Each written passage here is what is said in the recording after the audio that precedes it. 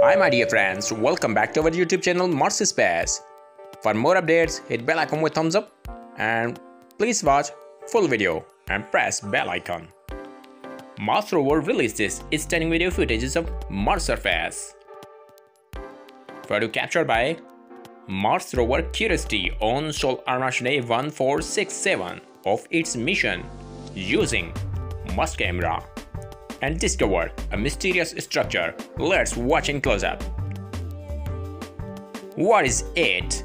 You can see full face cut of an animal and body structure. It looks like fossils of an animal. Possible Martian fossilized animal or just ancient rock structure like an animal. What's your ideas about it? Let me know right now.